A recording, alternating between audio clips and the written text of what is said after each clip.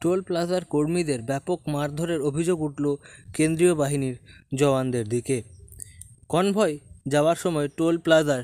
কাছে জওয়ানদের মারধর করার অভিযোগ উঠেছে কেন্দ্রীয় বাহিনীর জওয়ানদের দিকে। অভিযোগ, সচিত্র পরিচয়পত্র দেখতে যাওয়ার সময় টোল প্লাজার কর্মীদের ব্যাপকভাবে মারধর করা হয়েছে এবং এই পুরো ঘটনাটি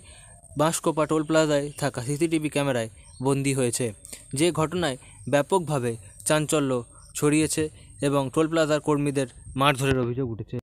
डेढ़ बजे हुआ था रात को रात को डेढ़ बजे ये इंसिडेंट हुआ था तो मैं आई कार्ड मांगा आई कार्ड मांगने के बाद मेरे से कुछ बात नहीं किया तो कमर्शियल नंबर था हम सर पैसा मांग रहे थे तो अचानक पैसा मांगने के बाद गाड़ी पाँच मिनट रुक गया था लेन में लेन में बोला हम गाड़ी आगे भी नहीं करेंगे पीछे भी नहीं करेंगे यहीं पे रुकेंगे तुम लोग का दिक्कत है तो दूसरे लेन में गाड़ी डालो यहीं पे गाड़ी नहीं हटेगा उसके बाद से बात होते होते अचानक से पीछे से आके दौड़ के पूरा फोर्स आ गया অভিযোগ কেন্দ্রীয় বাহিনীর জওয়ানের এক আধিকারিকের কনভয় যাচ্ছিল মাস্কো পাটোল প্লাজা হয়ে কনভয়টি পানাগড়ের দিকে যাচ্ছিল সে সময়ই টোল প্লাজার কর্মীরা ওই কনভয়টিকে আটকায় এবং সেখানে আটকানোর কারণ ছিল, আধিকারিক যে গাড়িটিতে যাচ্ছিলেন সেই গাড়িটি ছিল একটি বাণিজ্যিক নম্বরের গাড়ি। ফলে গাড়িটিকে আটকানো হয় এবং টোল প্লাজায় সেই সময় কর্তব্যরত কর্মী সচিত্র পরিচয়পত্র দেখতে চান এবং তখনই সিআইএসএফ কনভয়ের অন্যান্য জওয়ানরা ক্ষিপ্ত হয়ে ওই টোল প্লাজার কর্মীদের মারধর করেছেন বলে অভিযোগ উঠেছে। এই ঘটনায় টোল প্লাজার মোট চারজন কর্মী আক্রান্ত হয়েছেন বলে অভিযোগ উঠেছে এবং এই ঘটনায় ইতিমধ্যেই টোল প্লাজা কর্তৃপক্ষের তরফ থেকে কাঁকসা থানায় একটি অভিযোগ দায়ের করা হয়েছে এবং পুরো ঘটনাটি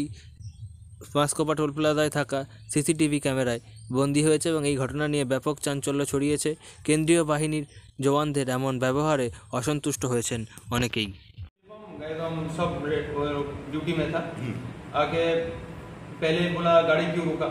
जानता नहीं है ये कौन है हाँ, पूरा गाली गाला देना शुरू किया मैं तो रोका क्यों जानता नहीं ये कौन है ये हम लोग का बॉस है तुम मतलब- रोका इससे पैसा ये तुम्हारा ये तुमको आई कार्ड दिखाएगा ऐसे बोला बोल रहा था और सर गाली भी दे रहा था बहुत खराब तो हमको बोला तू बाहर निकल वहीं पे डंडा घुसा के मेरे को मारा টোল প্লাজায় কর্তব্যরত কর্মীদের মারধরের ঘটনায় অনেকেই নিন্দায় মুখর হয়েছেন পাশাপাশি যে চারজন কর্মী আক্রান্ত হয়েছেন, তারাও রীতিমতো এই ঘটনায় আতঙ্কিত হয়ে পড়েছেন এবং এই ঘটনা নিয়ে শরগোল পড়ে গিয়েছে এলাকায়।